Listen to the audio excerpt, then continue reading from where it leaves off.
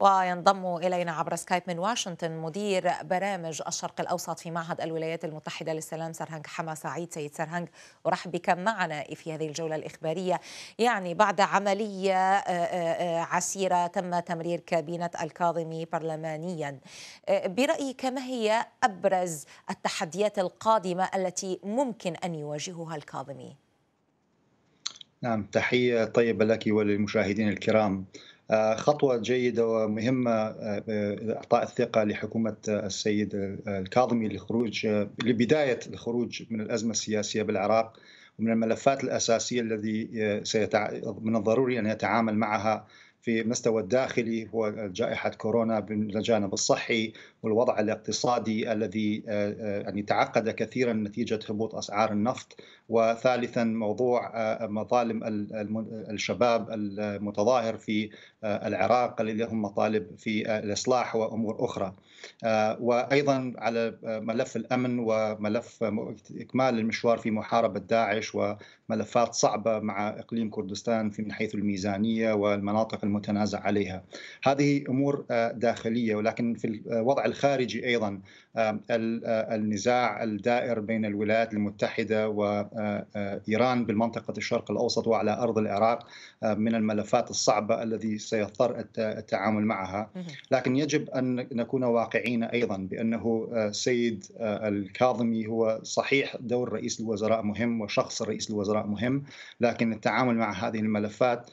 دور الطبقة السياسية ضروري أيضا وفي فترة متبقية لحكمه طيب. سيكون يجب اختيار بعض الأولويات من هذا السيد سارهانج إذا كيف إذا كيف نستطيع أن نفسر دعم كل من إيران والولايات المتحدة لتسنم مصطفى الكاظمي الثقة كرئيس للحكومة العراقية؟ كلا الطرفين على ما يبدو سعيدين بتسنمه هذا المنصب. هذا بالإضافة إلى تمديد الولايات المتحدة لاستيراد العراق للطاقة من إيران لمدة إضافية في قرار مفاجئ بعد أن كانت أن مدت مدته شهر واحد فقط.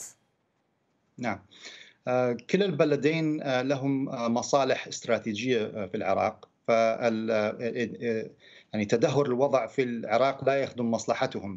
ففي نهاية المطاف لو استمر التعقيد السياسي والتظاهر وتردي ملف داعش وملف الاقتصاد فكان فيه ضرر للكل. يعني الولايات المتحدة لا تر لا تود أن ترى العراق يذهب أكثر إلى تحت التأثير الإيراني. لا يودون عودة داعش وتعامل مع هذا الملف.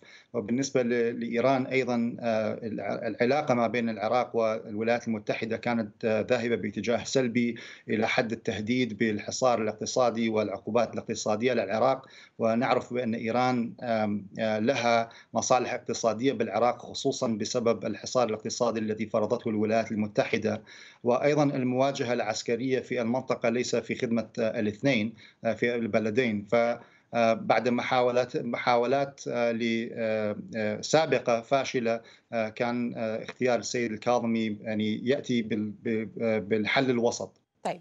طيب هناك آه، سيد سرهنج آه، كانت آه، دعوات لإخراج القوات الأمريكية مؤخرا إلى أنه يعني تمرير حكومة الكاظمي وترحيب السفارة الأمريكية بهذه الحكومة.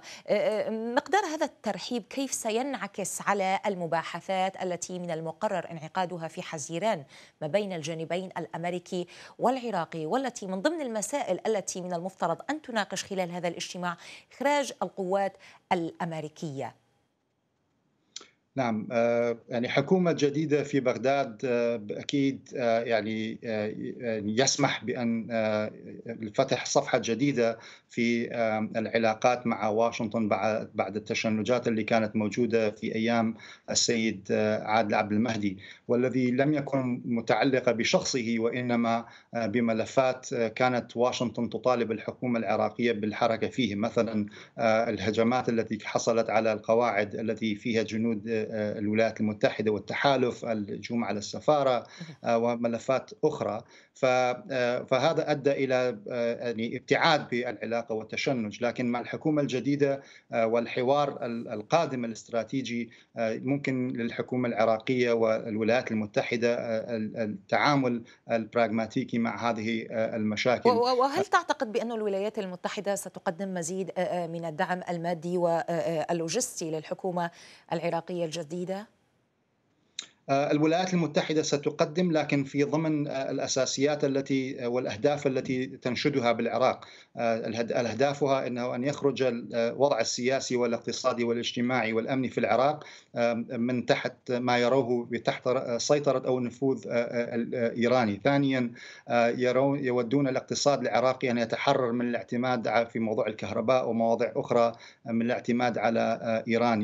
يودون الملف الأمني أن يسيطر عليه وبرأيك هل الكاظم يمتلك مقومات السيطرة على هذه المواضيع الأمنية منها والسياسية والاقتصادية؟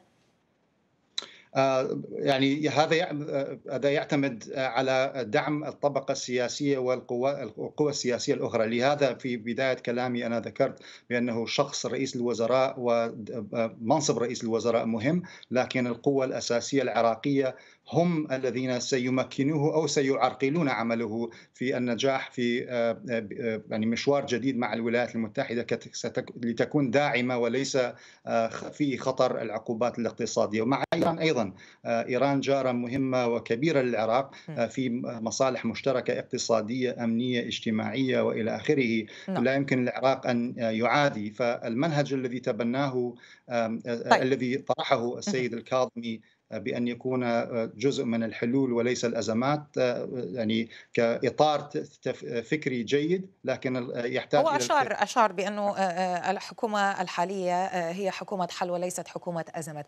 ولكن سيد سرهنج في بداية حديثك ذكرت بأنه تردي الوضع في العراق ليس من مصلحة إيران ولا حتى الولايات المتحدة والولايات المتحدة تهتم أكثر للتدخل الإيراني بالإضافة إلى ملف داعش. وركز على ملف داعش هنا بعض المراقبين قالوا قالوا بأنه التحالف أو قوات التحالف وخاصة القوات الأمريكية أوقفت الدعم العسكري والتقني خلال الفترة الأخيرة لمحاربة داعش في بعض المناطق أي تحت عنوان إعادة التموضع. ولكن البعض فسر هذا هذه الحركة بأنه ورقه ضغط تستخدمها الولايات المتحدة لتمرير حكومة الكاظمي. هل تتفق مع هذا الرأي؟ وهل تتوقع بأنه عمليات الدعم العسكري ضد داعش ستعود من جديد؟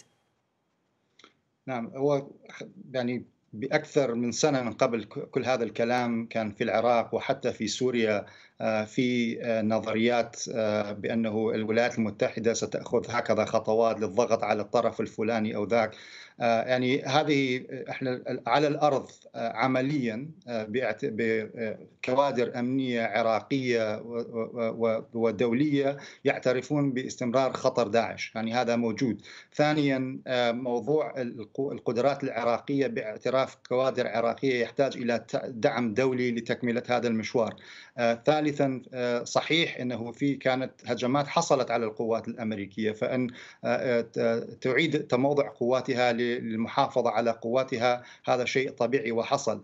موضوع جائحة كورونا ليس في العراق فحسب وانما حول العالم أدى إلى كل الحكومات والقوات العسكرية إلى اتخاذ تدابير لحماية نفسها. فهذه التدابير منطقية. هل ممكن أن ينظر إليها في السياق التشنجات التي كانت موجودة ما بين إيران والولايات الولايات المتحدة وما بين العراق والولايات المتحدة أيضا. نعم ممكن لكن الأهم هو ما يأتي بالقادم العراق لا يزال يحتاج إلى دعم الولايات المتحدة ودول العالم المجتمع الدولي للتعامل مع الملفات الصعبة في حرب داعش في جائحة كورونا وإلى وموضوع الانتخابات أيضا لانتخابات نزيهة وحرة. ممتنة كثيرا على حضورك معنا عبر سكايب من واشنطن مدير برامج الشرق الأوسط في معهد الولايات المتحدة للسلام سرهنج حما أمين. سعيد عفوا شكرا جزيلا لك.